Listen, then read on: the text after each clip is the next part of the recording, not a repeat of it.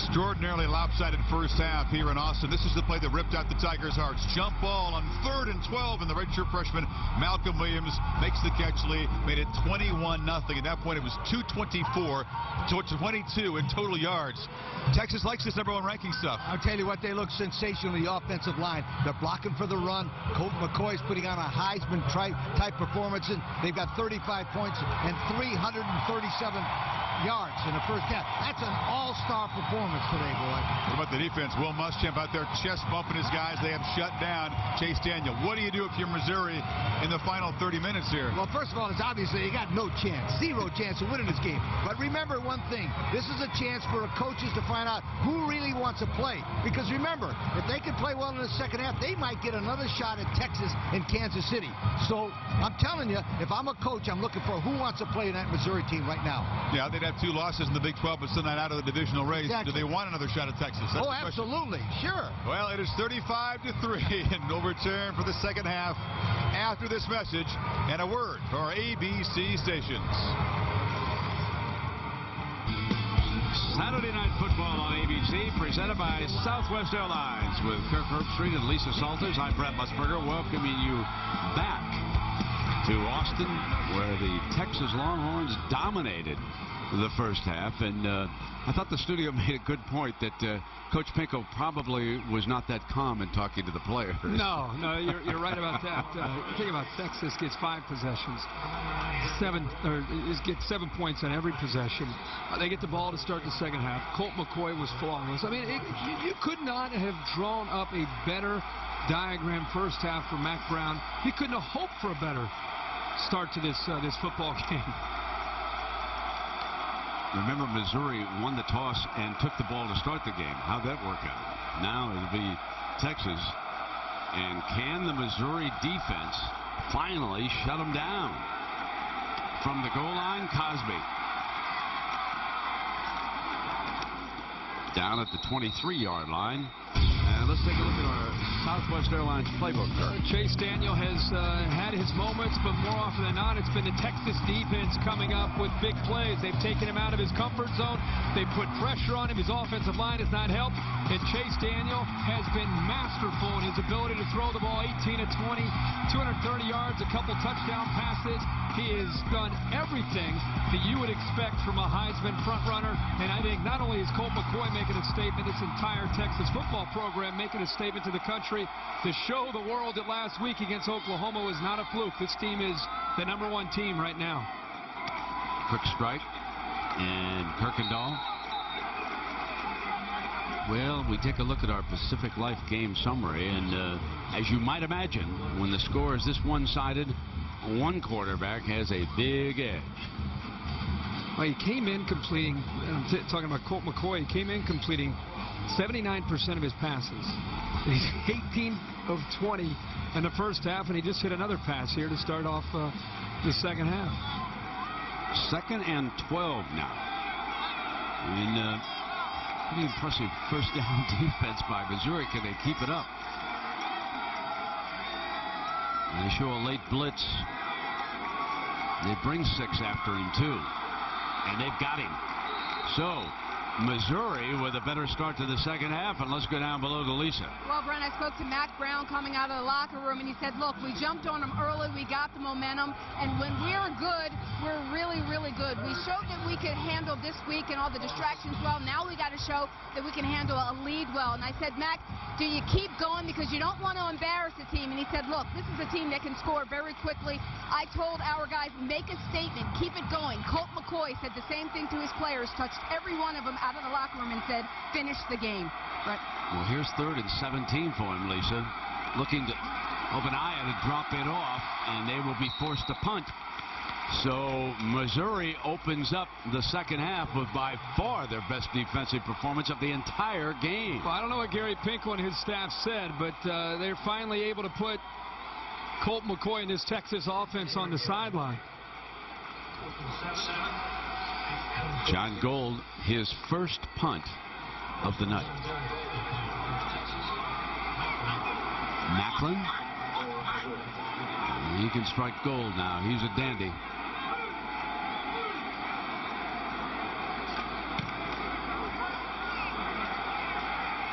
fair catch. He didn't let it bounce past him and gave way for an extra 10 yards. If you're going to signal fair catch, step up and catch it. Well, the chase for the NASCAR Sprint Cup continues at Martinsville on ABC Sunday.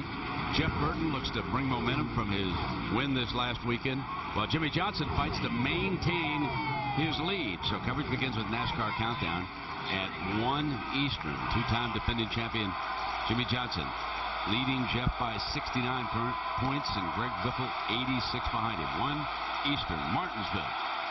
Here we go. First down and 10 now. Let's see what the offense can do. Defense did their part to start this. And Orakpo closing in and a reception. This was the best pass of the night as Orakpo was all over Chase Daniel, who still found Coffman the pressure is able to get to, to Chase here because the, another great job by this Texas secondary of taking away all of his options and eventually just his ability to improvise, rolling to his right and throwing all the way back to Coffman. He's able to come up with a play. And now Washington bangs out for about six yards. And let's check in down below with Lisa. Well, Brent, remember what Brian Orakpo was telling us yesterday about his boxing over the summer. He did it three or four times a week.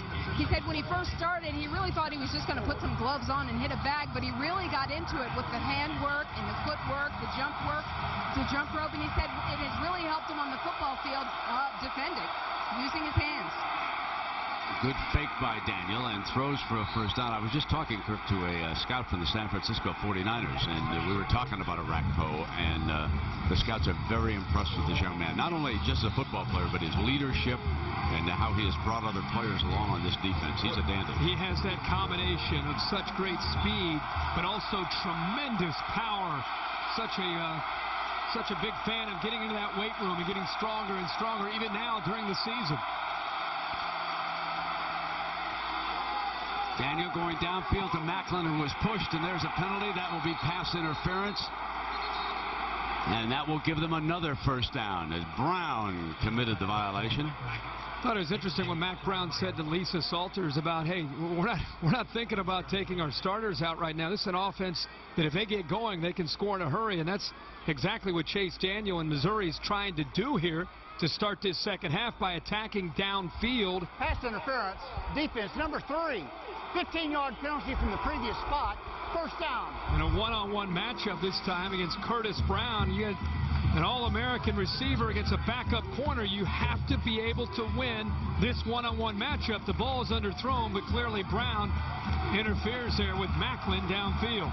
The first penalty of the night on Texas. Giving Missouri a first and 10 at the Texas 40-yard line. Complete to Coffman again, but just to the line of scrimmage. And that was Curtis Brown coming up to make that stop. I'm surprised tonight that we really have not seen the up-tempo, no huddle from Missouri as much. I mean, they're in the no huddle, but it's it's not uh, it's not as fast as far as the pacing as I thought we might see. Double reverse bringing it around, and Alexander, the ball carrier, and ripped down by Sergio Kindle. He can tackle in space. That's the one thing you have to do against Missouri. All of these spread teams, you've got to be able to do that defensively, and he showed you how there. The funny thing is he's trying to fight off a block there from the quarterback, Chase Daniel, and he did do a nice job of tackling in space. You always hear that term when teams defend Missouri. Boy, we've got to tackle in space. so far this game, Texas has done a pretty good job of tackling everywhere. Not much space tonight, eh? right. All right, Daniel back snaps another first down pass to Coffman. And they're rolling to the 25-yard line, and Palmer back on the field. Remember now, Mizzou still without their right tackle. Brown, who limped off in the first half. Gregory's been over there, and uh, the redshirt freshman, Elvis Fisher, had been doing a good job at left tackle. Remember, he's matched against Orakpo most of the night. Daniel rolling hard, completes again to the 13-yard line. That time he hit number four, Perry. It's a dangerous throw, but when you're Chase Daniel, and again, you know the system, you know where the weaknesses are, the defense. Against Texas, because they're flying around right now and playing with such confidence, you've got to make a quick decision and get rid of the football in a hurry. He's able to sneak that one in there that time to Perry. Dave Christensen sent down the play. And they're going to run on first down, and Washington got another first down. This should be, if he gets the spot first and goal, is Derrick Washington with a nice run. And again, this is what you need to see from Missouri is just enough of this running game to be able to make this defensive line respect it and appreciate that Missouri can run downhill. It's not bouncing it to the outside, but right into the teeth the speed of this defense. It's tough to get sideline to sideline against this speed. No first and goal for Missouri.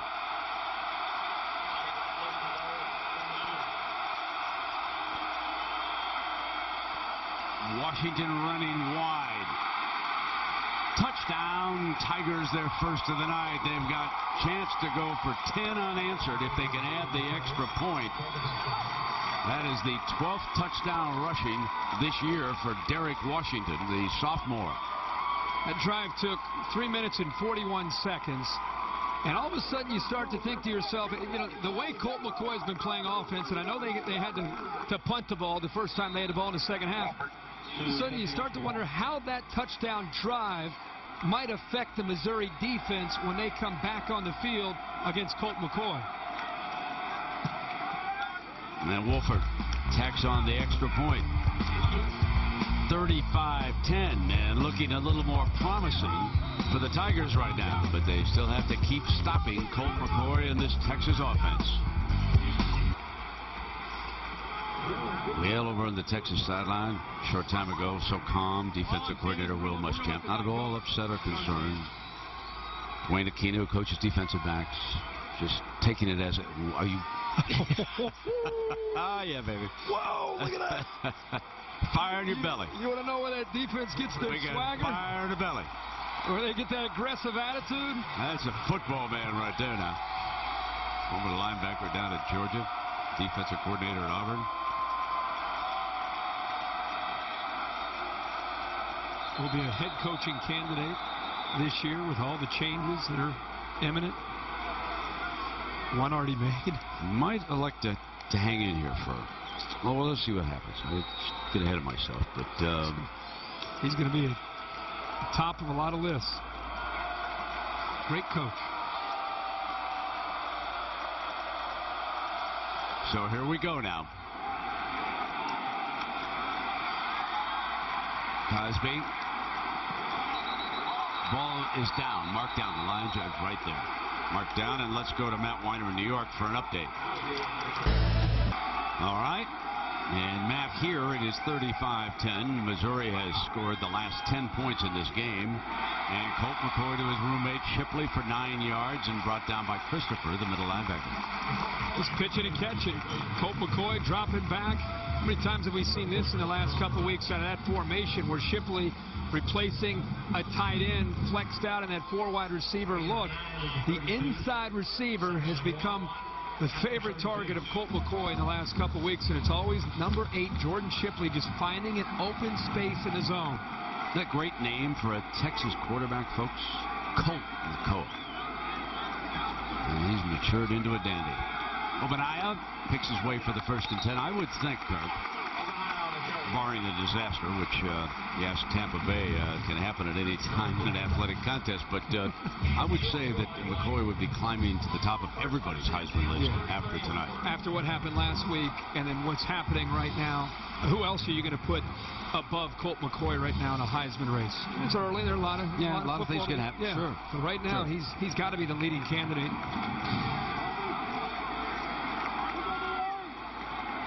First and 10, and they're coming again. Gets picked up well.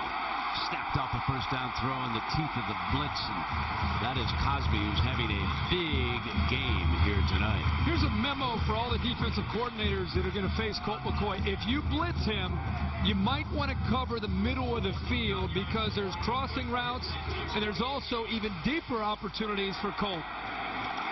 And there's one right there to the 35-yard line is Shipley.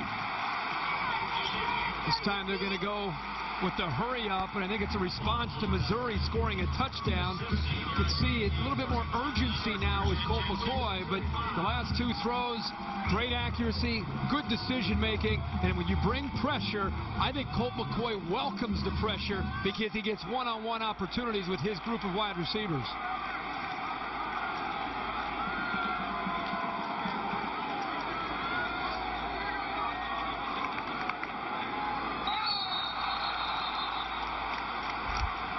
Dead ball, false start, offense, number 64. Five-yard penalty. It remains first down. Colt McCoy's father watching here from the stands.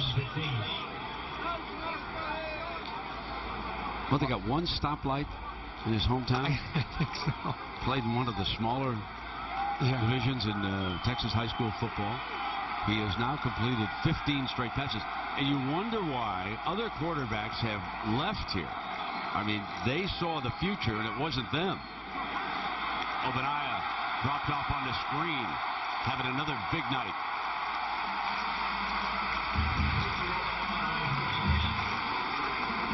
Ogbonnaya has really taken over this position. So, so, so many times people have talked about how come they don't have a one back that's the featured back. I think uh, Ogbonnaya now, because I think he's understanding this offense more and more, he fit in, he fits in very, very nicely into this package.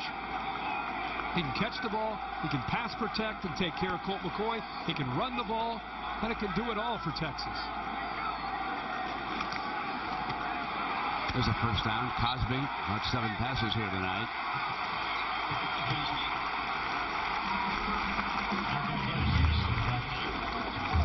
Imagine trying to defend this offense when they're when they're clicking like this, and you have a quarterback who's who's playing a video game. I mean, he's just he's just back there and just throwing the ball every time right on the money. Option look, but McCoy not looking at the option trailer. He is hoofs it downfield for four or five and steps out of bounds. And someone's telling him, hey, "You're on right now. You're on right now, my friend." how proud he is, not only of his son, the quarterback, but his son, the young man, who is just an amazing, amazing student athlete here at Texas. Does all does everything you would hope for as a leader of a football team. Second and seven. Deflected away. Tried to snap it off to Shipley, and uh, that was Sulak. He's another one of the Texans on this Missouri team. This is where, of course, Coach Pinkel and his staff comes to recruit Kirk. 6'5", able to get a big paw up there and knock it down. That's one way to stop Colt McCoy and his accuracy. My point is that if you play man and you pressure Colt McCoy, he's going to find a receiver coming across the middle almost every time and puts it right on the money. If you think, you know what, let's keep everything in front of us, then Shipley or Cosby's going to find a seam into the zone and he's going to put it right on the money. There really isn't an answer right now to defending Colt McCoy. So 17 straight, then the incompletion. Now we've got a face mask, according to Brad over there in the stands. Here's another example. This time they're going to get into man coverage. Personal foul, face mask, number four. Half the distance to the goal. First down.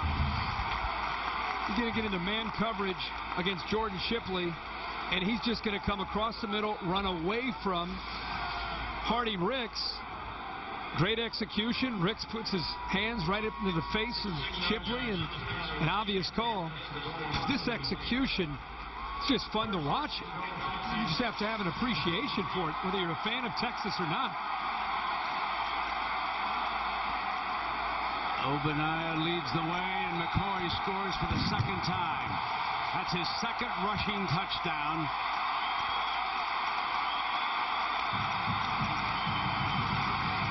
You know, I'm going to start calling Colt McCoy the answer.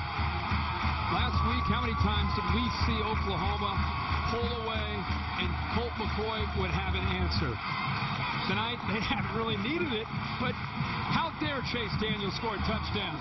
They answer. They come right back and score another touchdown. About to make it 42 to 10. He's not the front runner for the Heisman Trophy. I don't know who is. Who would have thought that the young man who faced all that pressure when he replaced the legend here in Texas, Vince Young, would soon become the favorite to win the Heisman Trophy? Saturday Night Football on ABC. Brought to you by Southwest Airlines. Low fares, no hidden fees. Powered by Pontiac, official performance machines of the NCAA. And Verizon Wireless. Well, well, not just a football school. Ian Crocker, that young man, he is down the way in the Lost Dodge booth watching this game. He was on our Olympic team, won a gold medal for the United States, and of course he was the NCAA Swimmer of the Year at Texas in 2004. And uh, you could see McCoy back there talking to Greg Davis upstairs, and he just broke Texas career touchdown total as he passed Vince Young. That was the 82nd touchdown that Colt has accounted for, either rushing or passing. So we will come back. It is 42-10, the number one team in the nation. Not challenged here tonight by number 11. We'll be right back. This telecast is available. Chase Daniel and the Missouri Tigers coming out from the 33 with a first down. Complete to the 35, picked up no more than a yard on that play. And near the conclusion of tonight's game, we'll select a Chevrolet player of the game from each team. Chevrolet will make a $1,000 contribution to each university's general scholarship fund. And on the Texas have, side, I know who the leader is for one. the Chevrolet Award. We have one on one side. We're trying to find the other one. Daniel picked up about a yard as he kept it that time, and Houston there on the stop. So there is the Missouri offense, or lack thereof. Uh, certainly in the last three drives, they've been so much more efficient. They had a touchdown on fourth down call back in the first half, if you weren't with us. They put a field goal on the scoreboard with time running out, and now they have their lone touchdown here in the second half. Chase Daniel throws for a first down, snaps it off to Maclin. He's going to get 15 more yards by Orakpo. Hitting Chase Daniel looked like up in the helmet. Personal foul, roughing the passer, helmet to helmet, number 98. 15-yard penalty, first down. Well, he was definitive in that call. Referee, Orakpo, they bring the blitz. Orakpo comes right through the middle, hits one of the seams, comes up a little high. I don't know if it's helmet to helmet there. He came high. Let's look at this. Yeah, he got him. 15 yards. Pretty gutsy to sit in there when you know Brian Orakpo's coming in. That was some stunt. When he came off the end, slid over, and then came through the center gap that time. Shows you his speed. Let's go to Matt Winer. Yeah, Matt, and it's probably uh, McCoy and Bradford. Uh, the, two, the two quarterbacks who duel brilliantly up in Dallas. And uh, Daniel going down the sideline. Coffman, as the defensive back, fell, wanted a penalty. That was Beasley working the sideline. He wanted a flag. He wanted offensive interference. Take a look, Kirk. But it's one-on-one matchup. And again, look at the difference in the size between Coffman and Beasley. I don't know if he I thought Beasley might have had a case. I think he pushed, he's just so much bigger at 6'6". Just pushed down on Beasley and went over top of him at 5'10". Washington, he's stuffed. Going down. Lewis in on that play.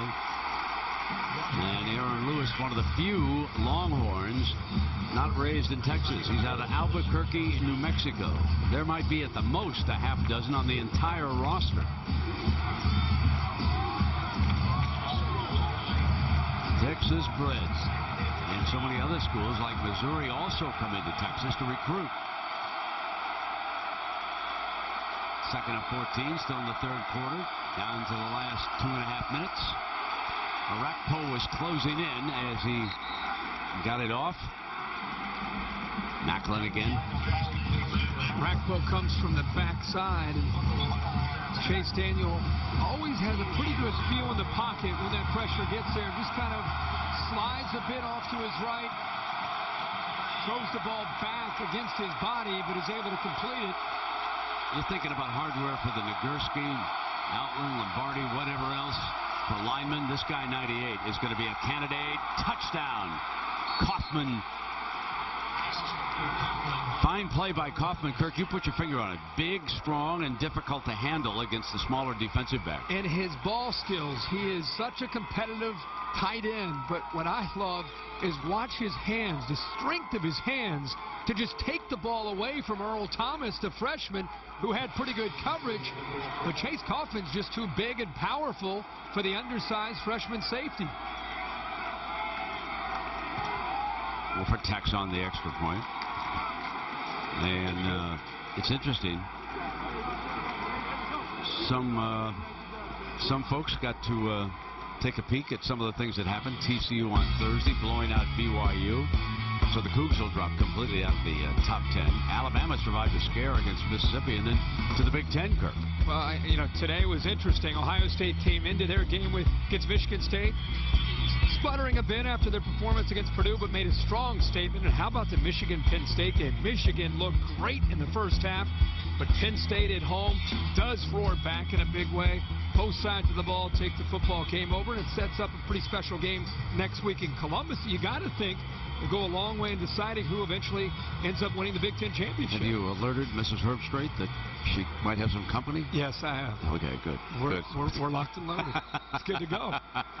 We are Let's go to Columbus. What a showdown that is going to be between the uh, the Lions and the Buckeyes. Oh, huh? Be a great scene. Gets a lot more intriguing after what happened today with Ohio State bouncing back and really looking uh, looking a lot better with Terrelle Pryor and Beanie Wells on offense. From the two-yard line, coming out is Cosby again. He's been very busy. 30 and out of bounds at around the 35-yard line. You know, you're watching. Uh, well, we'll get back to that story. Let's go to Matt Winer in New York.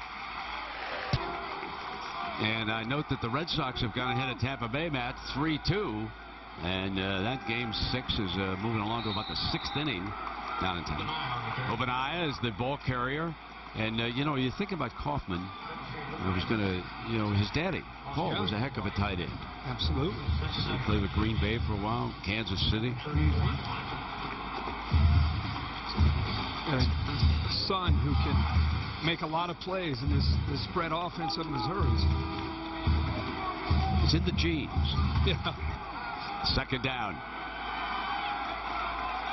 for Chase. He's got three wide receivers, tight end, running back. Ogbonnaya checks down. And there's a holding call going against Texas, I believe. And uh, maybe about the fourth penalty tonight. Four penalties apiece in this game. 42-17, the number one team in the nation. Rolling again at this uh, lovely, lovely remodeled Darrell K. Royal Stadium here in this, Austin. This is oh. Uh-oh, Chavis. Yeah. I don't know what it is, maybe a cramp, but um, this has to be the prettiest stadium in the country. It's what they've done. Oh, it's gorgeous down there, at that end zone. Just holding offense number 71. There is no horse collar because the runner was between the tackles. Second down. So that's Hall, and uh, just to give you a, an idea there of how they completed this end zone, wrapped it completely around, added even more suites, and believe it or not, they've got a waiting list for those suites up there.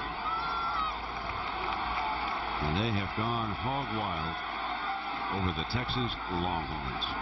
There you go. Chase on the move, snaps it off again.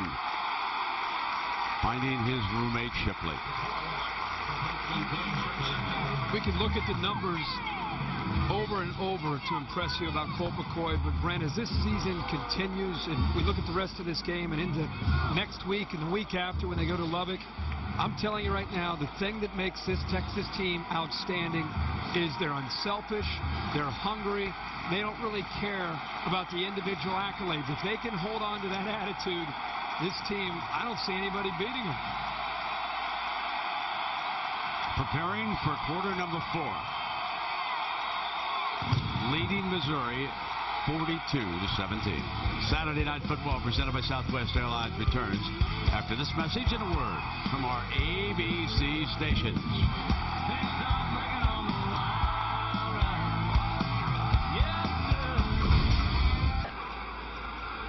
Kirk, there's a former Congressional Medal of Honor member, won it in the Second World War, who's not here tonight. Frank Denius is up in Dallas receiving an award. It's the first Texas game he's missed in 63 years. Wow. Comes out to practice. Talked to him the other day. One of our most decorated former war heroes. On this third down, Colt McCoy backs up, and that's short. It is down. The umpire marks it as a catch. Some were willing to pounce on it. Perhaps an incompletion. Well, now they're only 8 of 10 and 80% on third down tonight. You know, I talked about McCoy's 17 straight completions. Well, that set a Texas record also, breaking his own mark of 15. Are there any records left that he's... I think he's going to have them all. Who would have thought that Colt McCoy would step in and set sail on Vince Young's record, records here, scoring touchdowns, rushing and passing. Yeah. Now think about that. Tremendous athlete. Play is being reviewed.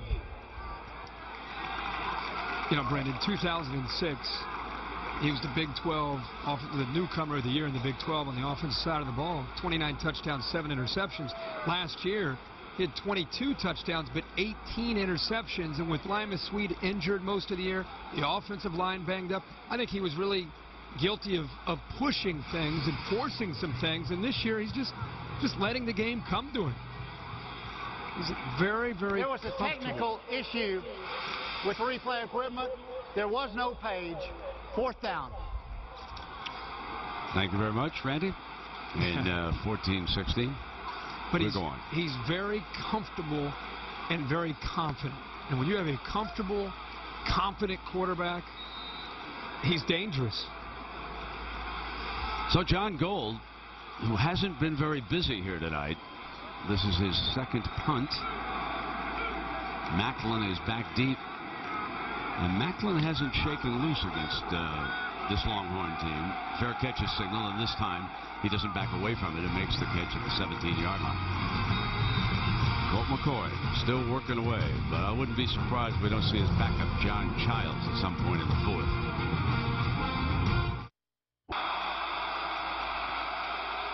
Back in Austin, Texas. 42-17.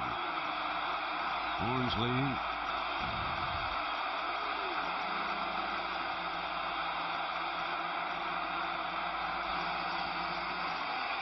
Handed off to Moore. His first carry of the night, and I believe I saw yellow. Yep. Down there on the 13-yard line. Flag came down.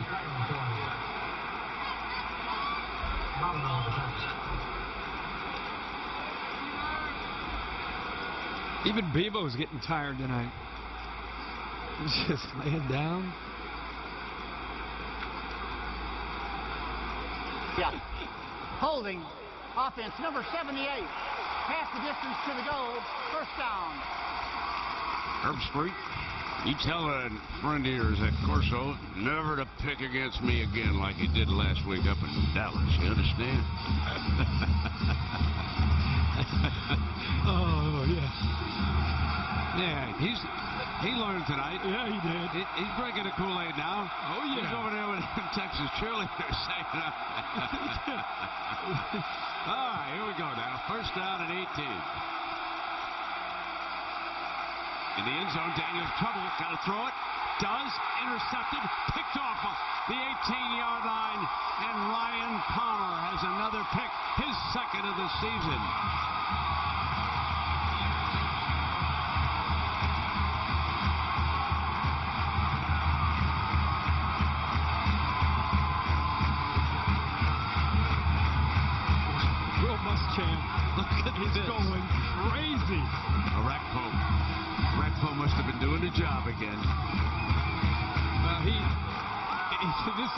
Been so much fun to be able to watch Oh, this speed. The speed of Orakpo shooting through those large gaps. We've seen it all night tonight with Miller, Orakpo, Kendall. They get the pressure there, and what it does is it forces Chase Daniel to just throw it up before he really wants to, and Palmer comes up with a pick. Ogbonnaya tests the middle for about four yards, and uh, here is Orakpo, folks. He's one of the best in the country. The biggest, strongest defensive ends, fastest defensive ends. He goes right by Ryan Madison, shoots that gap. And I think they were excited about the potential of going up against Missouri in those large gaps and the one-on-one matchups because they were confident that they were going to win them, and that's what they've done for four quarters. Rick, I want to go back to him talking about boxing. You know, the first couple of times he tried it, he said, I felt like quitting. I hated it. But then he kind of moved on and he said it helped me with my hands so much because I translated that power into speed and I could get through and I could get linemen's hands off me. Such a I mean, big part of playing amazing. defensive linemen, using those hands. Cody Johnson, the ball carrier. You know, one thing I've always said about boxers, I, underrated as athletes. And anybody doesn't believe me? Take a three-minute egg timer, turn it over, and dance around a room, throwing punches in the air. Keep it up for three minutes, and, and just think somebody's trying to kill me on the other side. You know? Is, that what you, is that what you do to stay in such Yeah, good like- shape? You, Is that part of your to knock me out. Third down and four. Whatever happened to boxing anyway? It's a big fight tonight. Snaps it off for a first and ten, and that was Brandon Collins. He's had a big night. Yeah, uh, Brandon Collins has been involved tonight. And I said at the beginning of this broadcast, and I think his development will be key. He's a sophomore. And I think uh, because Shipley gets so much attention, it's going to open up other areas in the secondary for a young man like Brandon Collins to make plays and also Malcolm Williams. Texas is developing and finding that they now have four receivers that can make plays, even though Shipley and Cosby get most of the credit, and deservingly so. Trying to pick up still another score. Ogbonnaya is stopped just shy of the of the goal line.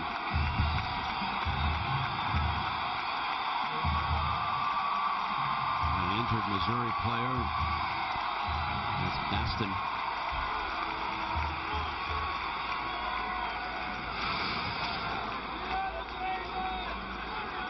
I getting a chance to, to try to punch it in. He knows he needs to do it outside of that five-yard line because once he gets the ball inside the five, if it doesn't get into the end zone, Cody Johnson and Big Roy Miller are going to be checking in for that short yardage package. Remember now, McCoy has run in for a couple of scores here tonight. Ogbonnaya has rushed for two. And they're going to bring in 99, and odds are they won't throw to Big Roy here tonight. Uh, if you were watching last week against Oklahoma, he dropped a sure touchdown pass, and uh, all I could say afterwards that he didn't have one of his contact lenses in, and the sun got him right in the eyes. And his teammates were having nothing of it. They gave him a bottle of Elmer's super glue, put it in his locker. right. Okay, he's the lead blocker, and uh, It's more fun to watch him block than catch the ball anyway. Someone's going down when 99 comes into this. here he is. Someone's going back. Well, they're going to let him. He's set right in front now. Ogbonnaya, motion. Johnson's behind Miller. Here comes Johnson right by 99 for the touchdown. Just follow Miller, and he'll take you to the end zone.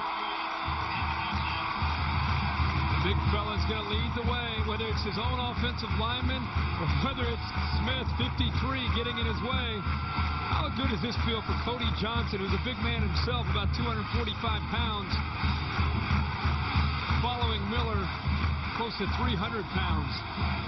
Last couple weeks, you know, last week Johnson scores three touchdowns from that formation with Big Roy Miller in front of him, and tonight we've seen it. It's a tough, uh, it's a tough package for anybody to match up to the size and strength of. Ryan Bailey tacks on this extra point. Hunter Lawrence a little tired after the last couple weeks. Johnson with the score. Half a hundred Texas has put up. Saturday Night Football on ABC. Brought to you by Southwest Airlines. Low fares, no hidden fees. Nissan, passionate about performance and proud sponsor of the Heisman Trophy. And Pizza Hut. It's true. Pizza Hut is now delivering Tuscany pastas. Order today. Austin's famous 6th Street. You can have a good time down there now, folks. Here in the capital city of the state of Texas. Lumen Large. Nice city. Great food. Yeah, you can have a good time down there. This is great. Great school.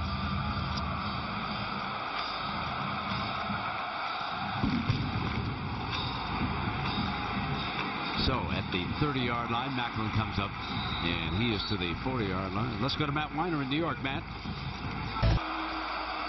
Big Puppy comes alive at the right time, and uh, this is Perry breaking free, and uh, he'll be marked down. Looks like at about the 46-yard line is where they're going to spot that ball right there.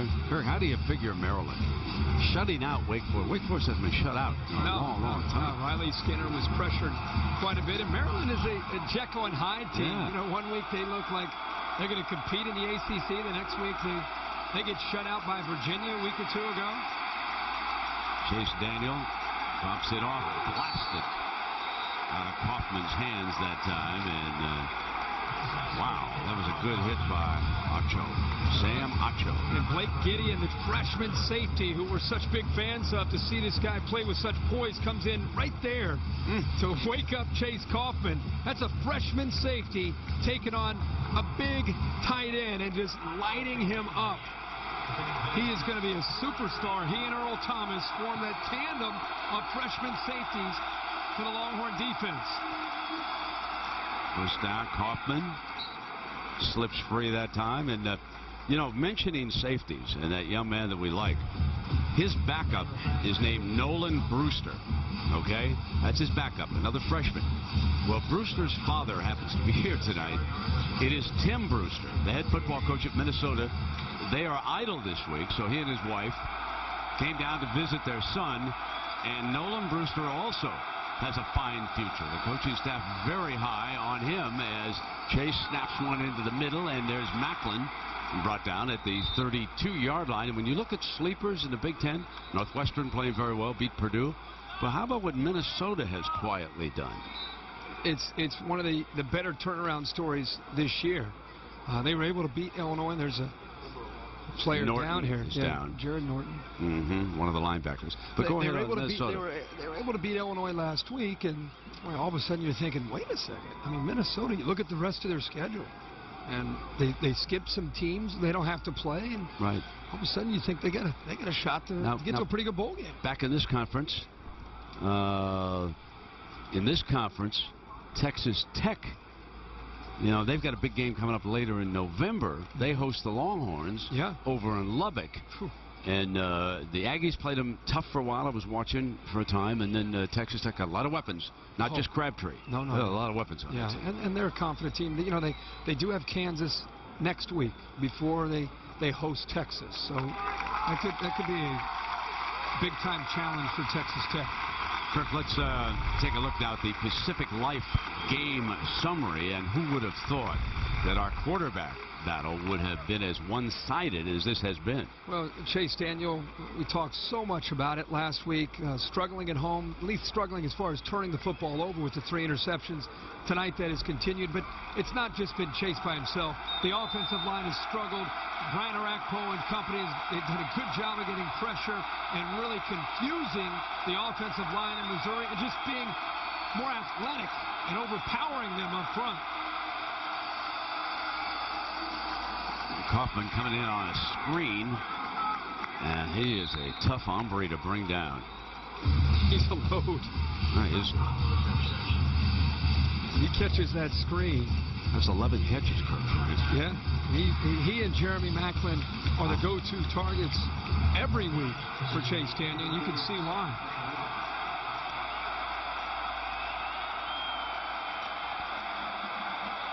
Second down. And run for the the first down that time. And That is Jimmy Jackson, number one, the ball carrier that time for the Tigers. Well, the Tigers, now they have to go back, and here's how they regroup as a team. They say, look, we're going to take dead aim at the Big 12 North, and we hope we get a rematch with Texas and Kansas City in the Big 12 championship. yeah. That is one way to rally the troops. Yep. It's been a depressing two-week run here for the Tigers as Daniel fires in zone. Perry steps in. Touchdown, Missouri. That's his third touchdown catch of the season. If they hadn't got off to that horrible uh, start when they were behind 28 nothing, they Yeah, might have been able to trade blows here. no way to dig out of that hole once they did that. But you know, this time, Chase Daniel able to step up into the pocket. Roy Miller and, and Lamar Houston done a good job of collapsing the pocket, and Chase has been forced to move to his right or his left. This time, he's able to buy time by stepping right up into the pocket, and Perry's right there for the touchdown. And Wolfert stays perfect. He has never, has in ever, missed a point after for Missouri. Yep. Tigers, I wish I could have done this earlier. it's a little more painful to do 24 when you're you're getting beaten up by Yeah. a few touchdowns.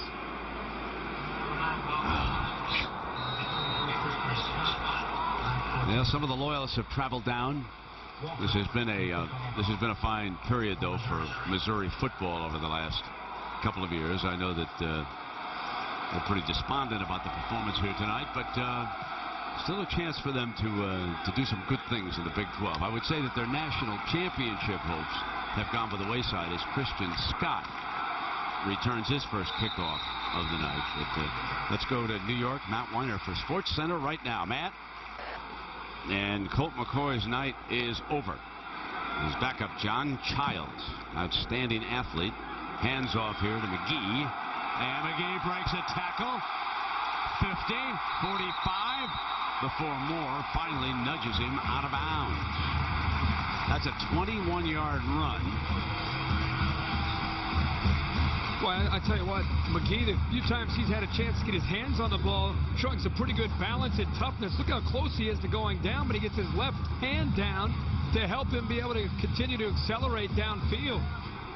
You put Ogbonnaya back there and McGee, and we haven't even seen Fozzy Whittaker tonight.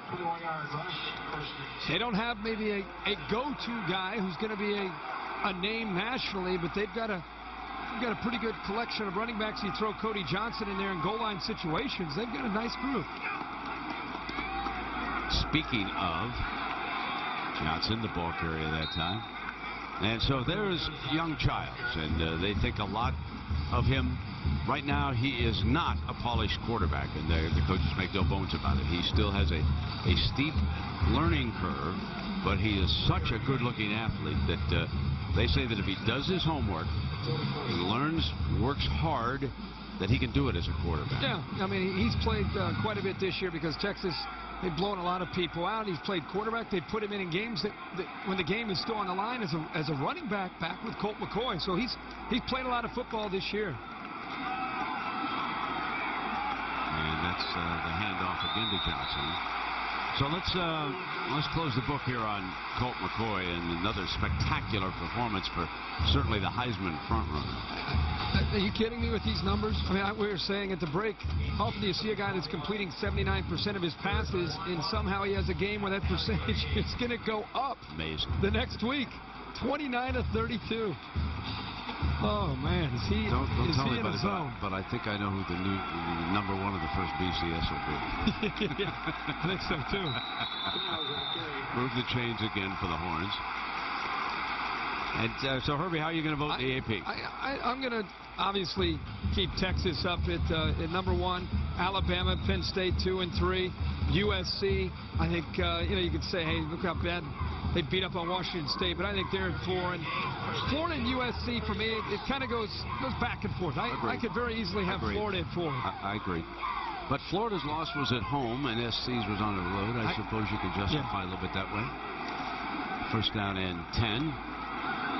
And uh, Witherspoon makes a stop. Well, here are the ESPNU All-State Standings Review. And again, we project that Ohio State will vault to the top 10, and they will be hosting number three, Penn State, next week because uh, certainly BYU will will fall out there. How about USC put 69 to nothing on Washington State? It's dark days right now. Oh, merciful. It's, it's not good.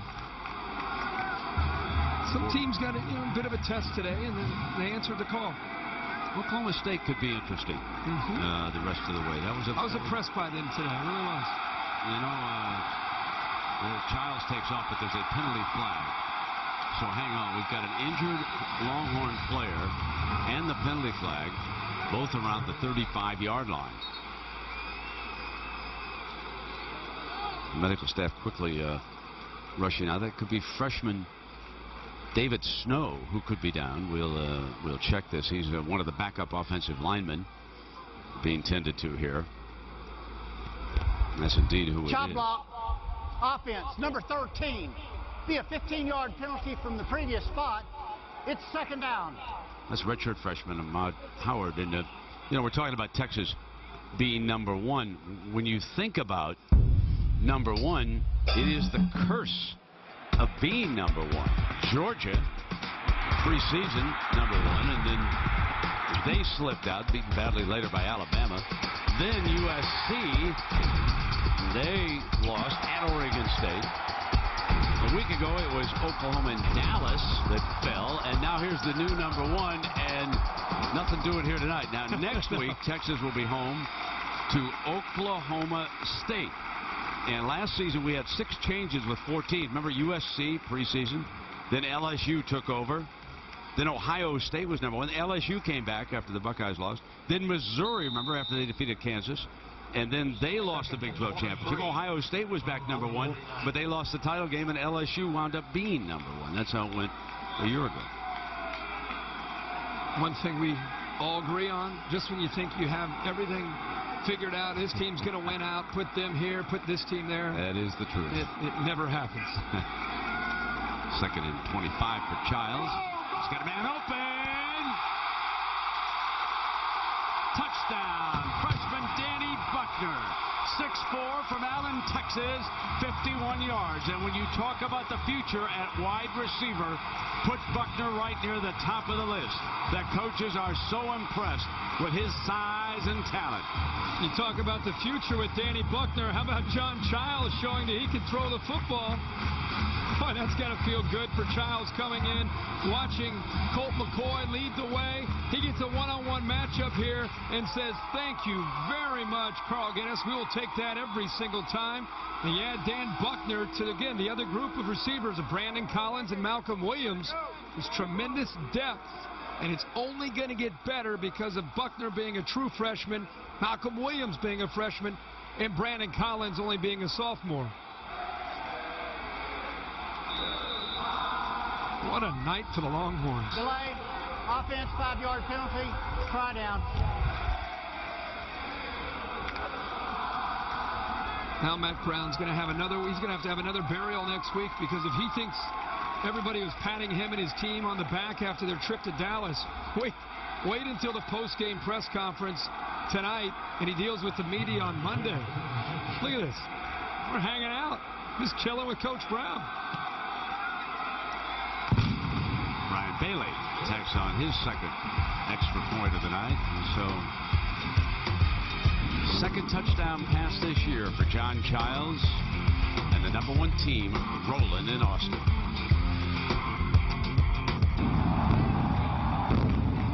Living large in Austin. Well, the next great cop show has arrived, and uh, Life on Mars is the name of it, and that will be Thursday on ABC at 10, 9 Central. You been staying up with the dancing? How's that going? How's that going? Big, the big fella's still doing pretty good, right? Warren Sapp, is he still in there? Anybody know? Is uh, Trump?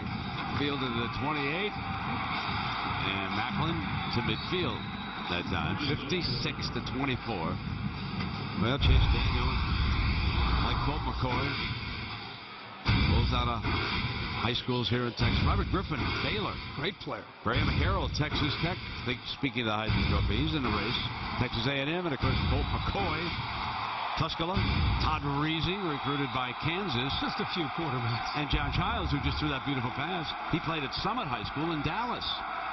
So the list goes on and on. I think I read that 23 schools have used Texas-raised quarterbacks. Now here is Coffman over the top. What a player he is as he crashes into the red zone for Missouri. You know, that's become his trademark move. I asked, I was at Columbia this week, and I said, man, for a big guy, what are you doing jumping over people? He said, I don't, I don't know. I just, I size him up, and I got nowhere to go but up and over him. And there's your guy, Nolan Brewster, the true freshman, the son of the coach. He Where said, wait a he go? second, that didn't happen in high school football. Where did he go? And they fire it to the one-yard line. So Saunders makes the catch at the one, and suddenly, a little bit too late, obviously, but that's how Missouri has treated most defenses this year. Yeah, this is this is what you have grown accustomed to seeing from Chase Daniel, but this was not the case early in this game. But they're not giving up. They're still trying to put points on the board. And Daniel drives for the end zone, touchdown. Now a little pushing and shoving going on down there. Look out now. This is not what you want to break out under any circumstance. There's some starters down there on the field for Missouri, mostly backups for the Longhorns, but everybody just get away and go on about your business. None of that cheap shotting going on.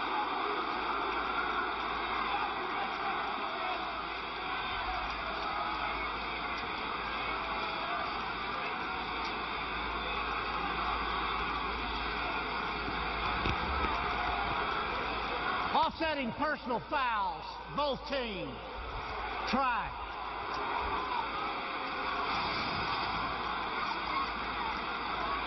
Pushing and shoving came in a little bit late. and see if Chase gets in. Yeah, it looks like the ball broke the plane. Yeah. Yeah. We got him around the neck. Anytime you grab a quarterback around the neck, somebody in the offensive line is going to take exception to that. Understandably so. Yeah. That's his first rushing touchdown of the season. I don't know if anybody's going to remember it.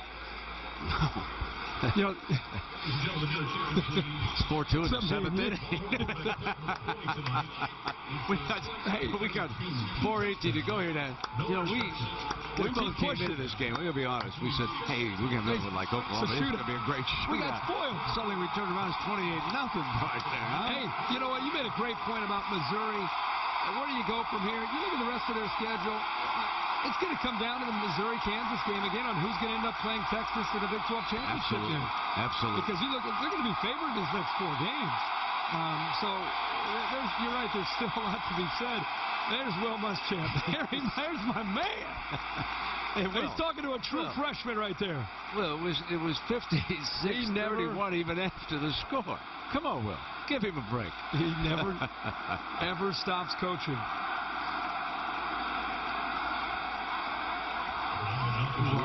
The uh, the Texas Longhorns. It's uh, it's a look at this. There was a sign at the restaurant. El Arroyo, is that where we ate the other night? You Oh, see the sign Clay- outside? Clay I watched the last debate. Will Muschamp for president. Pretty much that's, that's consensus right now. There's a penalty. So maybe a block in the back, and uh, they'll bring it back. And uh, well, he has Holding. turned the fight to Receiving this team defense. number I think 81. You know, when when he gets after him like that, he, he the, uh, also pats him on the back You're pretty right. quickly yeah, too. Yeah, you bet. Now here's here, here, here, Kirk, what they've got. They got Oklahoma State coming in here next week, and then on November 1st, circle circle that Texas Tech game, folks. That might be the toughest one. They get Baylor at No, home, but then they have to go to going to Kansas, like Kirk said. Let's not let's not go to sleep on Kansas up in Lawrence. And then, oh by the way, Lost two the in a row Aggies have there, beaten yeah. them twice in a row. Yeah, going to Kansas will be. I think the real test for this team is they're so focused on this four-game stretch of Oklahoma, Missouri, Oklahoma State, and Texas Tech. So many people have doubted whether or not they could make it through those four games. The real challenge could be on the back end after they get through that stretch. Let's go to Matt in New York. Matt. Wouldn't that be something if the Red Sox force a game seven tomorrow night down in Tampa? When you come back from being down seven to nothing, and you're already down 3-1 in the series. start, offense, number and you come back and win. Five-yard penalty, it's still second down. It, they're definitely going to win the ALCS. Now, they're going to be in the World Series. There's no Hmm. doubt. So a reminder now, uh, stay tuned, folks, after the game, your late local news over most of these ABC stations. Over on E ESPN, of course, you tune in Sports Center. You'll get post-game analysis on this route, as well as today's scores and highlights. A lot of stories around the country. We're not going to have the topsy-turvy result that we had a week ago. Uh, Texas certainly is going to stay number one and should be number one when the first BCS poll is released as McGee battles his way for about 14 more yards and another penalty flag comes down. Getting a little chippy. I agree with you, Kirk. When it's score like this, we use Arena League rules Yeah, I and think just keep the just clock continue. running. Yeah, even a break, I think the clock should just keep keep rolling. I love the look of Vondrell McGee when he gets in here. This, this Personal foul, face mask, number eight on the defense. 15-yard penalty, first down. So, the big uglies deserve a little credit. These are the guys who carried on so well in front of that quarterback. We give quarterback a lot of credit, but look at the, that gang right there. The gang of five now. You have one senior in Dockery of the bunch. This will be the best offensive line in college football next year, and they're doing a pretty good job right now this year. And Michael Huey played a lot at right guard. Uh, he rolled in and out with, with Dockery at that one spot there. And uh, McGee again stumbled.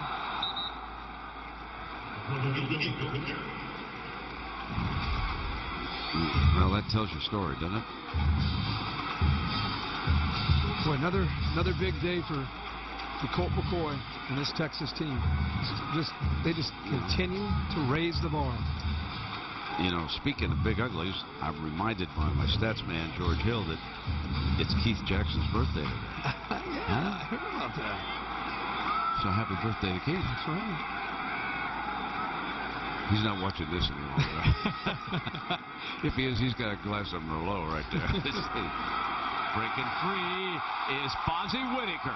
Now, Whittaker's a young man who has been hurt, and he's got some breakout on top speed. Uh, he's the quickest of the backs, and Greg Davis telling us the last couple of weeks, you know, when we broke away from camp, we thought Fozzy was going to be our, our, our every down back. I mean, he, he was going to be the difference maker, and you, you're right, he's had to bat, battle through a couple knee injuries, but he appears to be healthy and, and ready to go. Can you imagine if you get McGee and Whittaker, Ogbonnaya, Cody Johnson? That's a pretty good group of backs. And they're all healthy.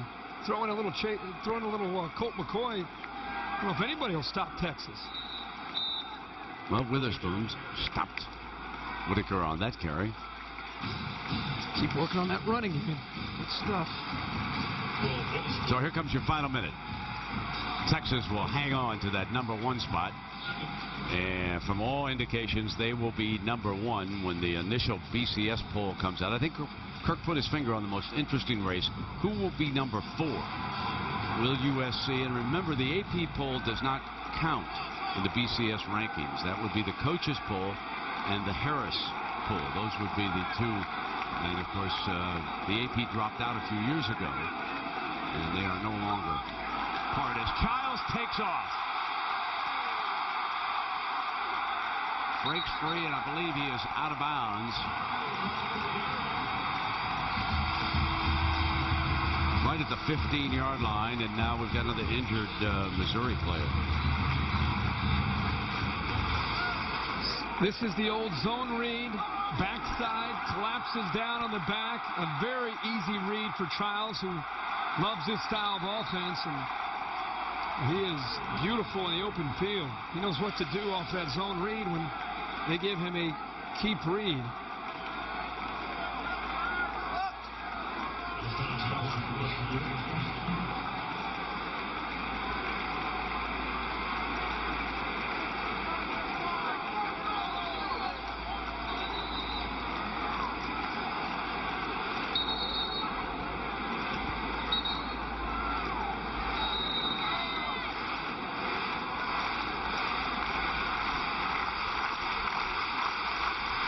Official attendance tonight, 98,383.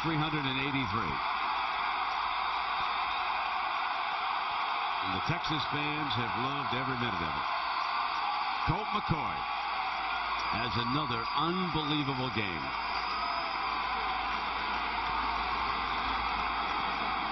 He and Chase Daniel spoke on the phone a couple days ago. They did not talk about this game. They were, of course, roommates out at the Elite 11 camp out in California. And Chiles ordered to take a knee and run it out. That's going to do it. Unbeaten and still number one. Chase will be looking for his buddy.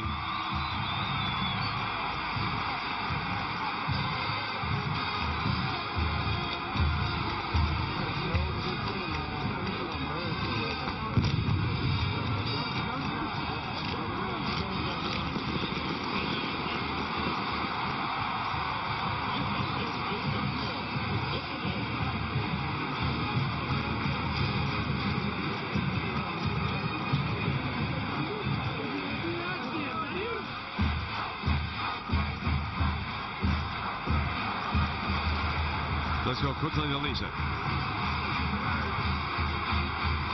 Hey, Colt, I know you and Choice Chase are really good friends. What did what did you just say to him? I just told him keep his head up and, and keep playing. They have a great football team. Uh, we, we came out strong this this game, and, and you know I thank God for the opportunity. I give God the glory. He's he's awesome, and uh, this team's got to just continue to do what we're doing. Take one play at a time, and you know good things are going to happen for us. You guys were there for a minute. Like, what was he saying to you? He just told me great job. He said, "Where'd you learn how to hit 29 to 32?" I said, "I didn't even know I did it. You know, I was I was focused on this game. Offensive line gave me great protection, uh, and give credit to the defense. But we came out strong. They had three points in the first half, which is which is awesome. Now, I'm sure you thought about how this game would play out. How did reality compare to to what you thought it would be like? Well, I knew when we got up early that's just an imposter. We had to keep fighting, keep fighting, because Chase and their offense is really good. They can score a lot of points really quick. So I just told everybody to stay focused and believe. Thanks a lot. Congratulations. Thank you.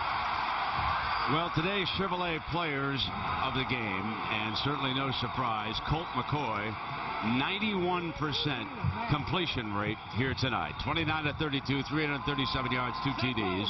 Chase Coffman, the tight end, with a very big game. And again, Texas stays unbeaten. Next Saturday, we'll be in Columbus, Ohio. Saturday night football on ABC, presented by Southwest Airlines. Number three, Penn State, will be taking on Ohio State at 8 Eastern.